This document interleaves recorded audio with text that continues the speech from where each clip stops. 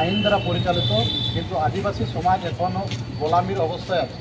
এই নিয়ে আমরা চাইছি যে আমরাও স্বাধীনতা চাই।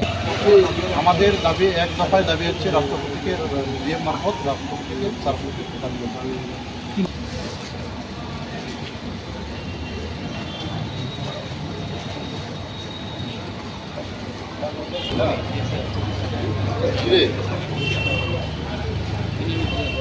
আমি তো এখানে নিয়ে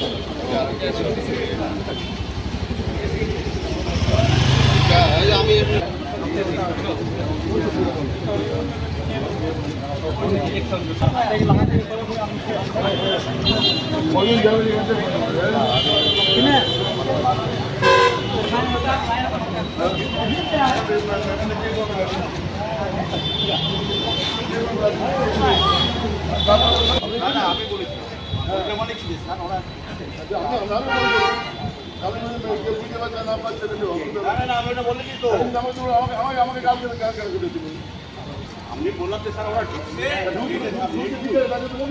আজকে আমরা আদিবাসী সিঙ্গেল অভিযান তরফ থেকে ডিএম মারফত রাষ্ট্রপতিকে এক স্মারকলিপি প্রদান করব।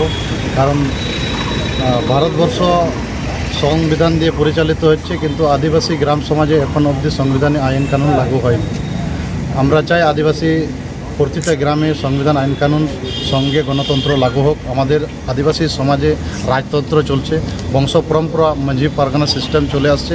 এতে আমাদের ডাইনি প্রথা হিস্সা দেশ, তারপরে জরিমানা এগুলো বাড়তি হতে আছে। কিন্তু এটা আমরা চাই, এখন অবধি ভারত ভারত স্বাধীন হওয়া প্রায় সাতাত্তর বছর পেরিয়ে গেল। তাও আমাদের আদিবাসী সমাজে সংবিধান, কানুন এবং গণতন্ত্র লাগু হয়নি। এই নিয়ে আজকে আমাদের বিশেষ করে কোন সংবিধান? সংবিধান ভারতবর্ষ সংবিধান আইন দ্বারা পরিচালিত কিন্তু আদিবাসী সমাজ এখনও গোলামির অবস্থায় আছে।